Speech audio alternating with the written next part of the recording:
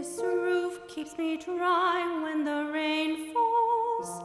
This door helps to keep the cold at bay. On this floor, I can stand on my own two feet. On this chair, I can write my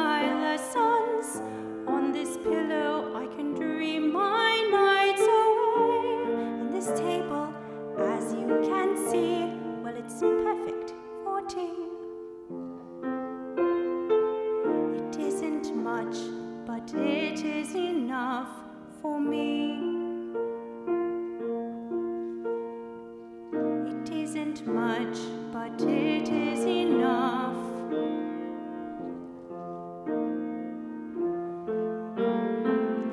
On these walls I hang wonderful pictures.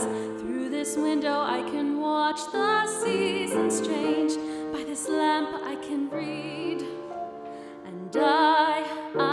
set free. And when it's cold outside, I feel no fear.